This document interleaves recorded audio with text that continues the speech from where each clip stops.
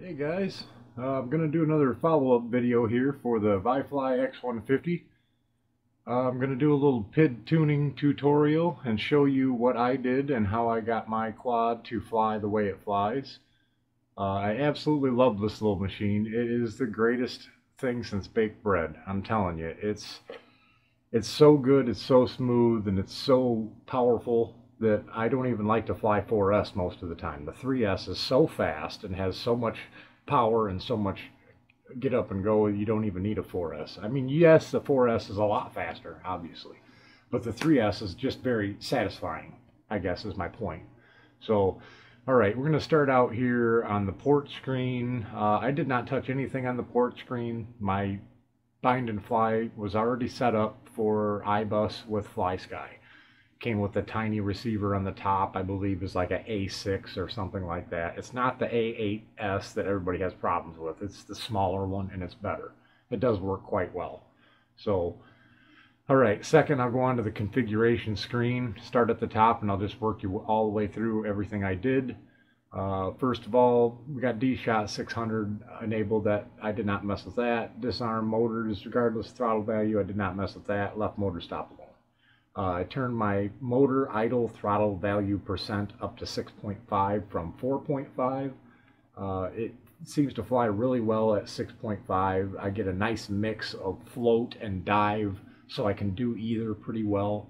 Uh, I had heard through the grapevine this was a good value from several people, and I tried it myself, and it seems to be pretty darn good, so I'm letting that ride. Uh, I do not run accelerometer on my machine. I do not use angle mode horizon mode or any of that stuff. I only run acro mode. So I run 8K, 8K, PID loop, and gyro update frequency because I just I, I just want it to go as fast as it can. Uh, obviously, I'm on iBus. I've got my RSSI input uh, turned on, but I don't think that my little receiver has telemetry, so I would have to upgrade receivers to get that. I use air mode, OSD, anti-gravity, dynamic filter, and everything else is off um, disarming and arming. I have it beep for those modes. I have it beep for RX set because that allows me to use a switch on my transmitter to make it beep in case I lose it and have to look for it. Uh, and then obviously it beeps when I hook up my USB. Next I'll go to the power and battery screen. I did not mess with the minimum cell voltages or warning voltages because uh, that's pretty well ironed out. They got that set up pretty well. I did have to change my battery voltage scaling to 109 on the scale.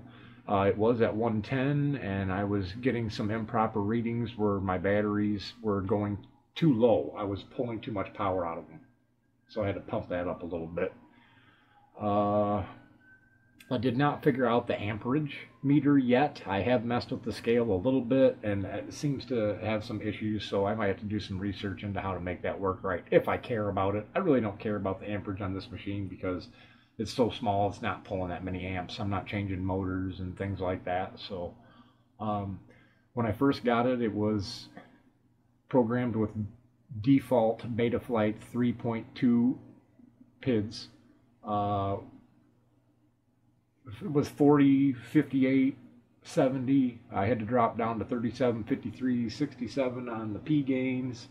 The I gains went from 40, 50, 45 down to 38, 48, 42, and the derivative went from 30, 35 to 25, 25. And it seemed to smooth out the flight really well, even with the lighter props on 4S. It seems to be okay. I'm not getting motor heat or anything with the, this prop with this setup. I did see a bit of motor heat with uh, the stock PIDs on a Hot 4S. Uh, it did not cause any damage, but I noticed the rear motors were quite warm, so I did change things to get that to go away, and this is how I did it. Um, running my rates at 1.23, 1.33, a little bit of expo in there, uh, puts me at about a thousand degrees per second on my uh, flip and roll and 1140 on the yaw. Uh, the reason I've got these so low, generally in freestyle setups, I, I run them about 1300-ish, maybe a little higher on the uh, yaw.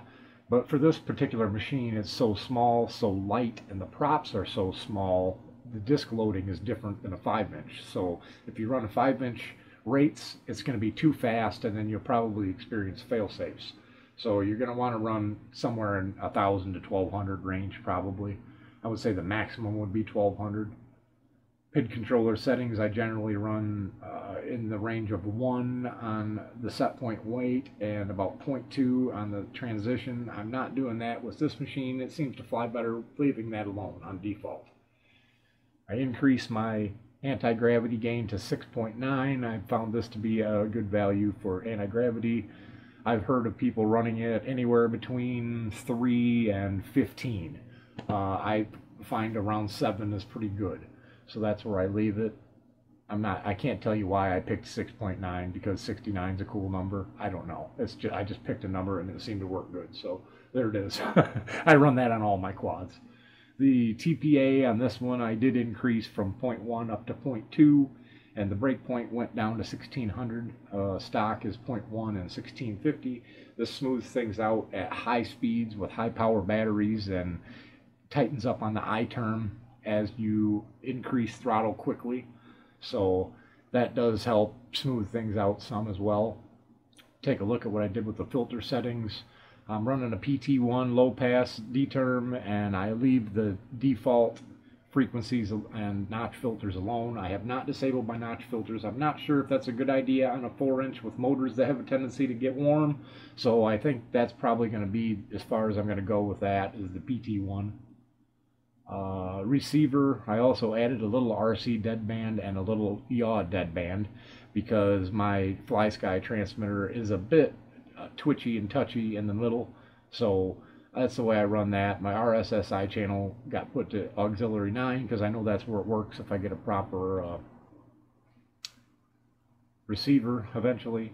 Uh, okay, my modes, what I do for modes, because I do not use angle mode or horizon mode or any of that stuff, I only run a failsafe, an arm, and a beeper. The failsafe is on my far right switch. It must be armed and turned off. The failsafe must be off before anything else will work. I have to turn the failsafe off first and then arm. I can't arm it and then turn the failsafe off because it will not spin the props. This is what you call a dual stage or a sequential arming setup. So I cannot hurt myself by accidentally clicking one switch on my transmitter while I'm holding the quad. Uh, beeper self-explanatory. Uh, my top left switch arms it. My next switch in from the left is the beeper. The far right switch is the failsafe. I use three switches. That's it. Keeps it simple. I don't need any stabilization. Motor screen, you don't have to do anything. This is D-Shot, so it automatically has uh, ESC configurations loaded. You don't have to calibrate it. OSD, I just run main battery voltage on my OSD because all that junk on there just bugs me and I don't like it. Uh, you're welcome to run as much of stuff as you want. If you want a thousand things on there, go right ahead. I'm just not a fan, so that's the way I leave it. Uh, yeah, that's pretty much what I did to make it fly right. So now I'm going to show you some uh, flight footage of this thing after I've tuned it. Um, I figured out that I really enjoy the HQ 4 inch by 4.3 V1S tri-blade props on this machine, especially with a three cell, super light, super quick, super, super flippy. You'll see in this footage that it's very impressive and I get some tremendously decent flight times. It's very cold outside and windy today, so this is pretty good. I'm happy with it. There you go, guys. Thanks for watching. I hope somebody got something positive out of this.